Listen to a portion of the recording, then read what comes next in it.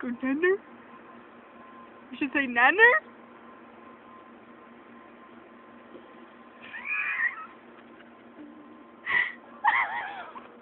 Ooh.